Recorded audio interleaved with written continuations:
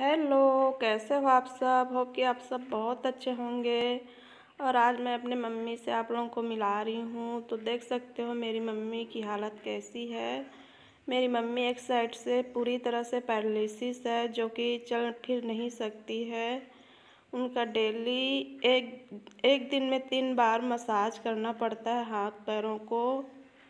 और मंथली उनका छः सात हज़ार का दवाई भी आता है।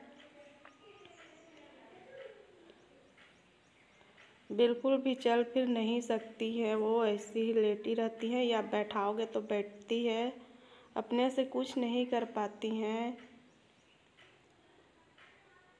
और मैं आई हूँ तो मैं अपनी मम्मी का मसाज कर रही हूँ, मालिश करती हूँ, डेली दिन में तीन बार।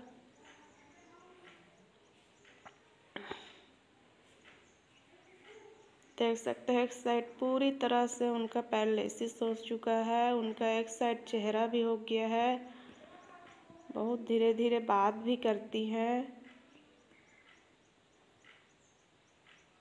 कोमा में चली गई थी, जो कि बहुत ही मुश्किल से वापस आई हैं।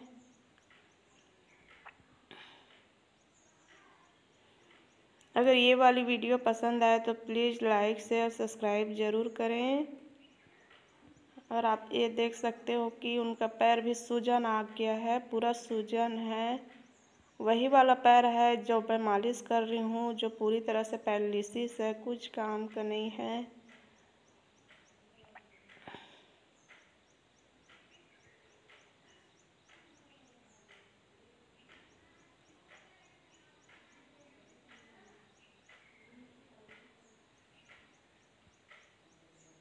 मिलते हैं फिर नेक्स्ट वीडियो में तब तक के लिए बाय